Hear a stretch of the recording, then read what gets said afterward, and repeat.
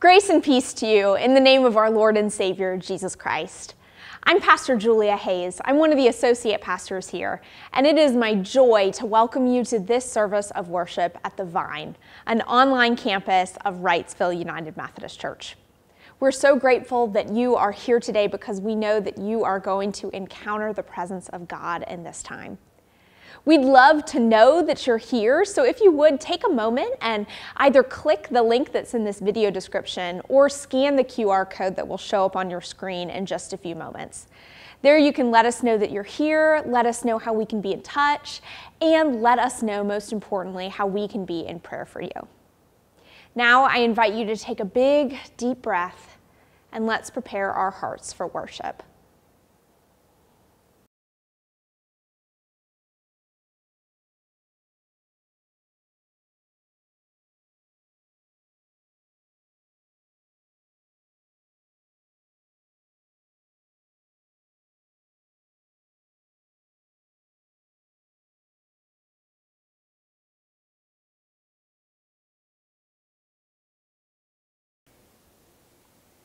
Please join me in our congregational prayer, which you will see on the screen.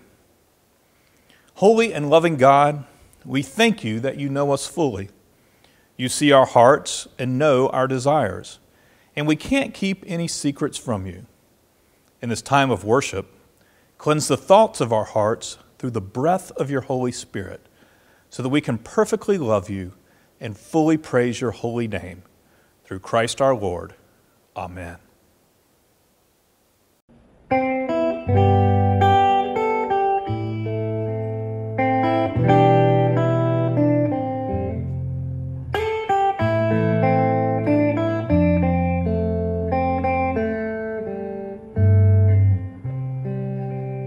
As a fire is meant for burning with a bright and warming flame, so the church is meant for mission, giving glory to God's name.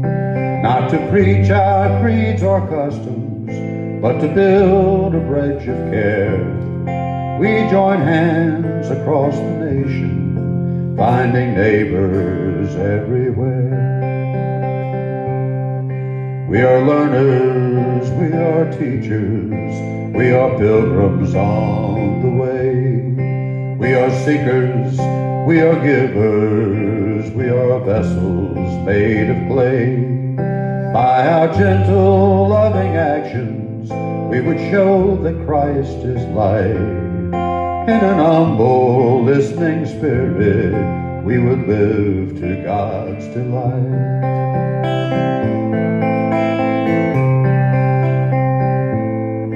As a green bud in the springtime is a sign of life renewed, so may we be signs of oneness in earth's people's many hue.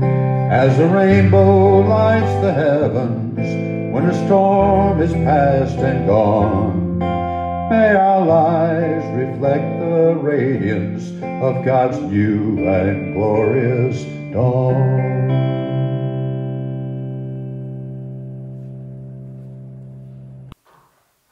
Good morning. I'm Doug Lane, Senior Pastor here at Wrightsville United Methodist Church, and I'd like to invite you to join me in prayer. Loving Father, on this weekend when we rest from our usual labors, we pray for all who shoulder the task of human labor in the marketplace, in factories and in offices, in schools and in hospitals, in the fields, on the water, and at the family home. We thank you, Lord, for the gift and opportunity of work. May our efforts always be pure of heart for the good of others and for the glory of your name. We lift up to you all who long for a better job and those who work to defend the rights and needs of workers everywhere. May those among us who are now retired remember the valuable contribution we continue to make to our church and to our world through our prayers and our deeds of charity. And may those who are students get the education they need to realize their dreams and callings for the future. We especially pray for those students whose classes were interrupted by violence on the campus of UNC Chapel Hill this week. and for the life of Professor Yan, who was needlessly killed. May our students be able to learn in peace and security, and our teachers be able to teach without fear for themselves or for the people in their classrooms. Classes and businesses even closer to home were disrupted this week by Hurricane Idalia. We thank you that we were spared the brunt of the storm, but we mourn with our neighbors to the south who lost property, businesses, and even the lives of loved ones. Help us to be generous in reaching out to our neighbors in need, giving to them the kind of aid that we've received or wish we had received in our past. Heavenly Father, you also know the names of those people and events who did not make the news. We ask that you will give a measure of your healing mercy and grace to the people we name before you now.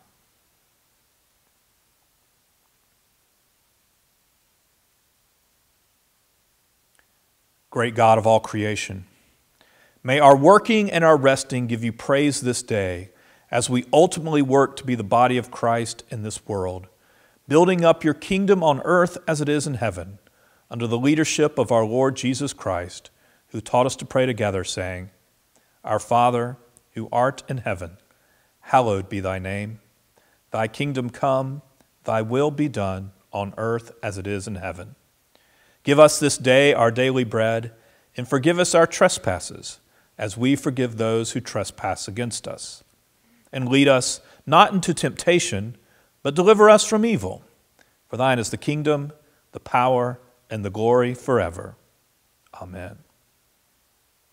I'd like to give you the opportunity to uh, give back to the Lord through your tithes and offerings.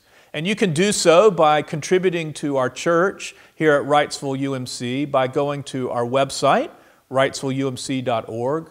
You can go to our app, or you can use the mail and uh, simply write a check and, uh, and give that to the ministries here at Wrightsville United Methodist Church.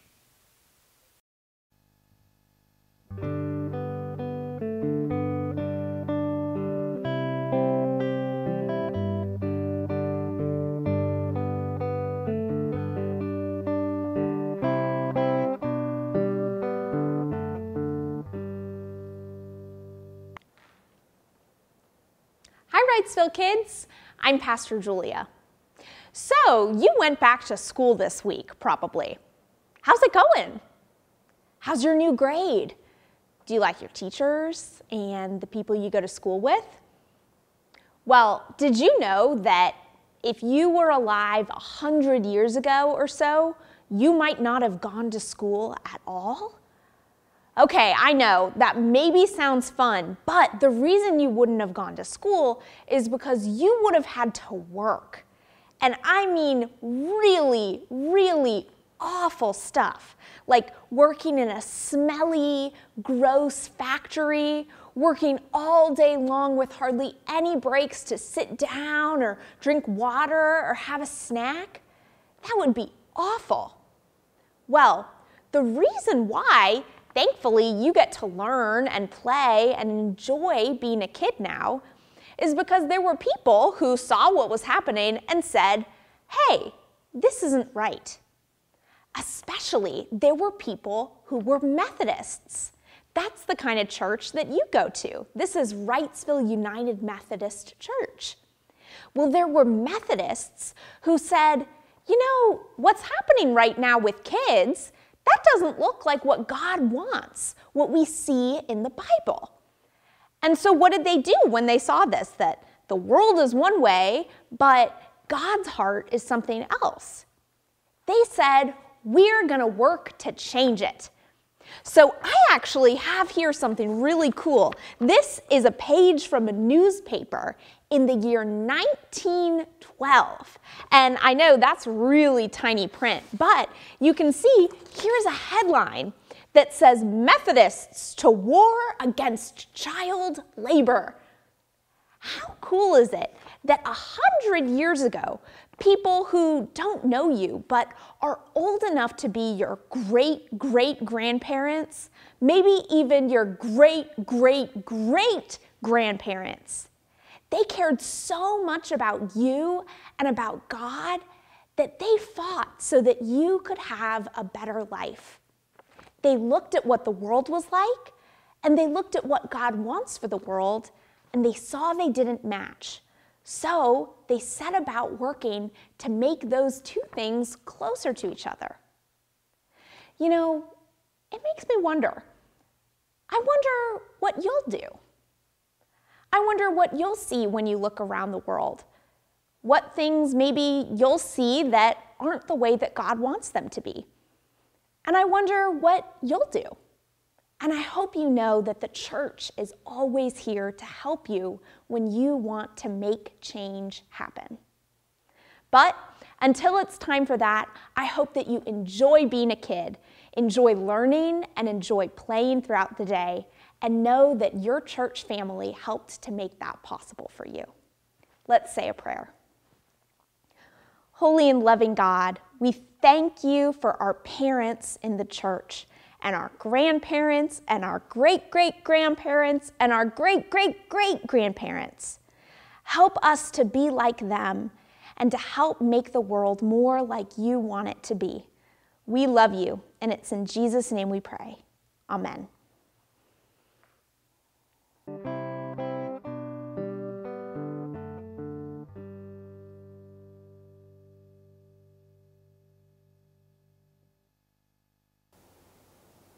Grace and peace to you in the name of our Lord Savior Jesus Christ.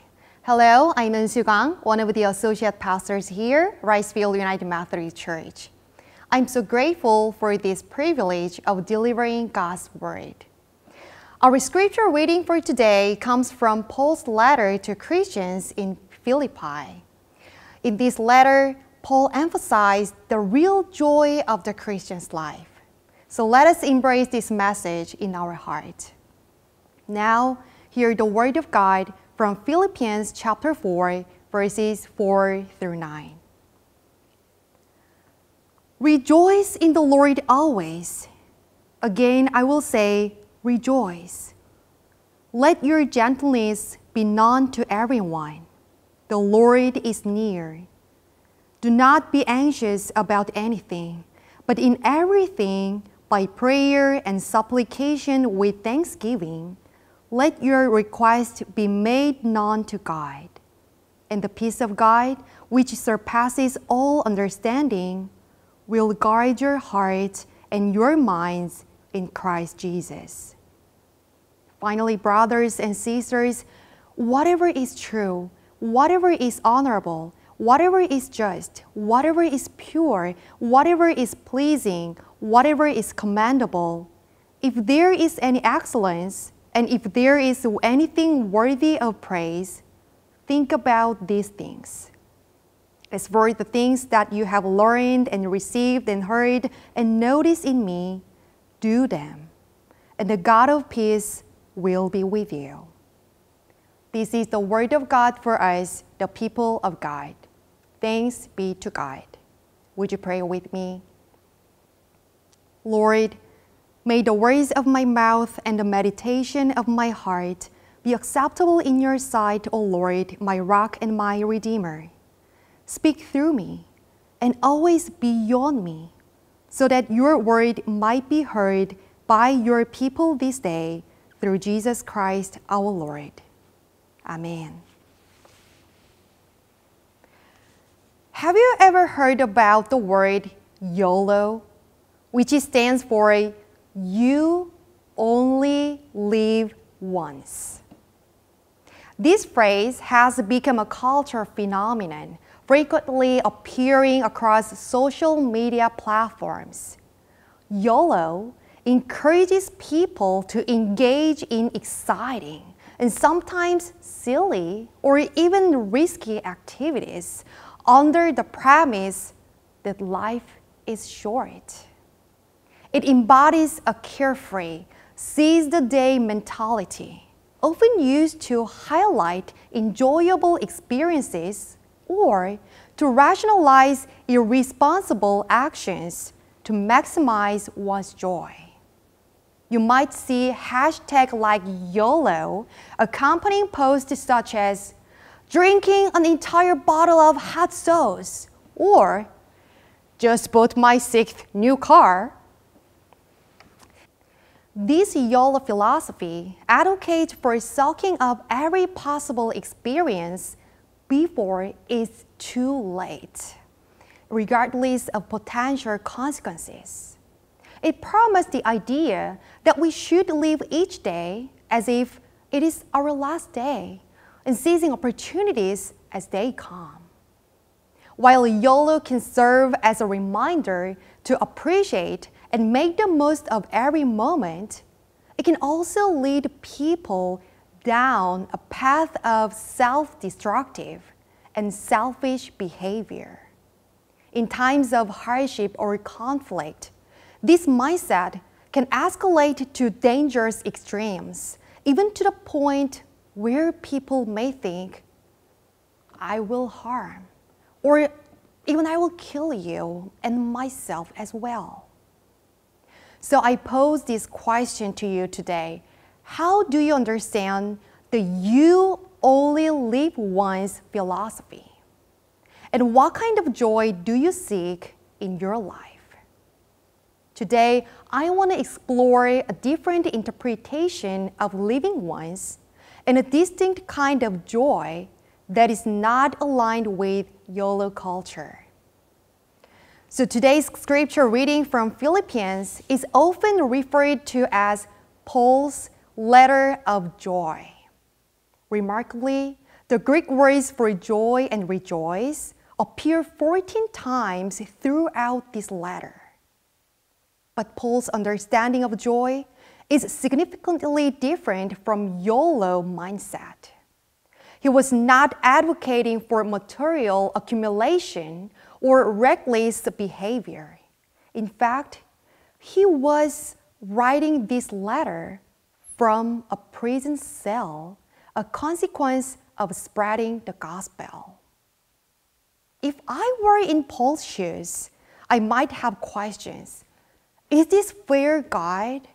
I have sacrificed my reputation, honor, relationships, and social standing for the sake of your message. And now in prison? Are you kidding me? Is this the reward for dedicating my one life to you? Despite his circumstances, Paul exhorts us to rejoice in the Lord always. Rejoice. Surprisingly, he even advises let your gentleness be known to everyone from within the confines of his prison. How could someone in such a situation inspire a congregation to rejoice? Paul's perspective offers us a profound understanding of what true joy means. The cornerstone of Paul's joy lies in his relationship with Christ. He was joyful because he was confident that no matter what would happen, Christ was with Paul. This joy is not dependent on external circumstances, but springs from an inner strength rooted in a deep relationship with Christ. In verse 5, Paul says, The Lord is near. This conviction empowers him to encourage us to rejoice. It's astonishing that such a statement comes from a man in prison. Paul was not only awaiting Christ's return, but also experiencing the immediate presence of God, even in his current hardship. He understood that his earthly life was not the final chapter. It was part of a grander narrative that transcends human limitations and extends into eternity. Paul advises us to pray about everything, big or small, and to bring it before a loving God. We can't escape anxiety through our own efforts. If we try, it only festers and grows. But Christ understands our worries and Christ meets us in our despair. The peace of God, which surpasses all understanding, will guard our minds and our heart. Without this anchor, our lives would be lost and easily swayed even by the smallest of disturbances. How much more vulnerable would we be without this joy and without this hope? Last week was a difficult one. The excitement of a new school year was shattered by a tragic shooting. The campus, which should have been a haven for dreams and friendships, turned into a place of grief and fear. It's heartbreaking to think about the parents anxiously awaiting messages from their children, hoping they were safe. I have pondered how such a tragedy could occur. Could the suspect have acted differently if he understood that his life was part of a larger story? Four years ago, I found myself in a new country, and enrolled at Duke Divinity School. I had left behind everything familiar my family, my friends, my community to come to the United States. But just one semester in, the pandemic hit. And suddenly, I was confined to a small room alone, attending classes through my laptop screen. The excitement and purpose that had initially filled me were replaced by isolation and questioning about myself. Who am I? And what am I doing here? But it was during this low point that my church community at Cedar Grove stepped in, along with friends who became my family.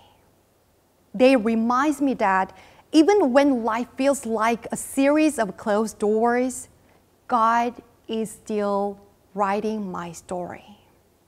My earthly struggles were not the end, but they were merely a chapter in a much larger narrative that God could write for me and for all of us. The joy and peace the world could not give came to me in a way that I had never expected before. As a person who was once an international student, feeling isolated and confined, I can't help but wonder if that young man had understood his life was part of a bigger story, might he have made a different choice? What if he had a community like Cedar Grove as I did. When we truly grasp that our lives are connected into a greater narrative, the impulse to harm others diminishes. Hurting someone else is not just an act of violence against them, it's a wound we inflict upon on our souls. Life is not a zero sum game where one person's gain is another's loss. Through the gospel, we understand that life is a collective journey towards healing, redemption, and eternal salvation. Today, as we reflect on Paul's letter and the challenges we face in our own lives, let us remember that True joy is not found in the fleeting moment championed by the YOLO culture. It's not about seizing the day in a way that disregards the well being of others. True joy is found in seizing the eternal, in grasping the everlasting love and presence of Christ in our lives. Paul, even from his prison, could say, Rejoice in the Lord always. Rejoice. Because his joy was rooted not in his circumstances, but in his relationship with Christ. He understood that the presence of Christ within us is the wellspring of everlasting joy. It's a joy that doesn't waver in the face of life's trials and tribulations. It's a joy that provides us with the strength to be gentle, even when we could be harsh, to be loving, even when we could be hateful, to be hopeful, even when circumstances seem bleak. So, beloved Wrightsville, as we go forth this week, let us strive to live not just for the moment, but for the eternal. Let us find our joy in Christ, who loves us, who is always near, and whose story for us extends far beyond the here and now. Let us remember that our earthly lives are not the final chapter, but a part of a grander narrative that God is still writing, as Paul reminded his people in Philippi at the end of this letter. In the name of Christ, may the joy of Christ fill your hearts and guide your actions. Let us pray.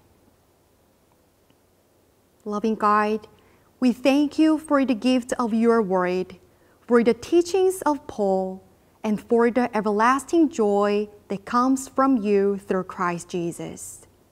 We pray that as we live this century today, the joy of Christ will fill our hearts, guide our thoughts, inspire our actions, and remind us you are near and that our story is part of your grander narrative. We ask all these things in the name of your Son, Jesus Christ. Amen. Christ our Lord invites to his table all who love him, who earnestly repent of their sin and seek to live in peace with one another. Therefore, let us confess our sin before God and one another. Merciful God, we confess that we have not loved you with our whole heart. We have failed to be an obedient church. We have not done your will. We have broken your law. We have rebelled against your love. We have not loved our neighbors, and we have not heard the cry of the needy. Forgive us, we pray. Free us for joyful obedience through Jesus Christ our Lord. Amen. Hear the good news Christ died for us while we were yet sinners. That proves God's love toward us. In the name of Jesus Christ, you are forgiven. In the name of Jesus Christ, you are forgiven. Glory to God. Amen. Amen. The Lord be with you. And also with you. Lift up your hearts. We lift them up to the Lord. Let us give thanks to the Lord our God. It is right to give our thanks and praise. It is right and a good and joyful thing, always and everywhere, to give thanks to you, Father Almighty, Creator of heaven and earth. And so, with your people on earth and all the company of heaven, we praise your name and join their unending hymn. Holy, holy, holy Lord, God of power and might. Heaven and earth are full of your glory. Hosanna in the highest. Blessed is he who comes in the name of the Lord. Hosanna in the highest. Holy are you, and blessed is your Son, Jesus Christ, by the baptism of his suffering, death, and resurrection. You gave birth to your church delivered us from slavery to sin and death, and made with us a new covenant by water and the Spirit. On the night in which Jesus gave himself up for us, he took bread. He gave thanks to God. He broke the bread, gave it to his disciples, and said, Take, eat. This is my body, which is given for you. Do this in remembrance of me. And when the supper was over, he took the cup. He gave thanks to God gave it to his disciples, and said, Drink from this, all of you. This is my blood of the new covenant, poured out for you and for many for the forgiveness of sins. Do this as often as you drink it in remembrance of me. And so, in remembrance of these your mighty acts in Jesus Christ, we offer ourselves in praise and thanksgiving as a holy and living sacrifice in union with Christ's offering for us as we proclaim the mystery of faith. Christ, Christ has, has died, died, Christ, is, risen, Christ will come again. Pour out your Holy Spirit on all of us gathered wherever we may be today, and on our gifts of bread and wine. Make them be for us the body and blood of Christ, that we may be for the world the body of Christ, redeemed by his blood. By your Spirit, make us one with Christ, one with each other, and one in ministry to all the world, until Christ comes in final victory and we feast at his heavenly banquet.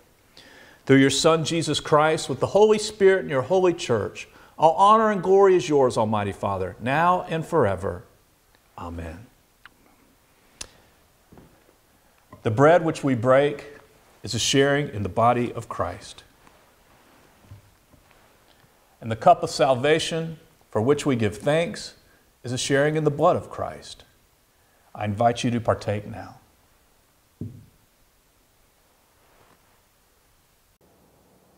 Beloved Wrightsville, go in peace to love and serve the Lord. May the joy of the Lord be your strength. May the peace that surpasses all understanding guard your hearts and minds in Christ.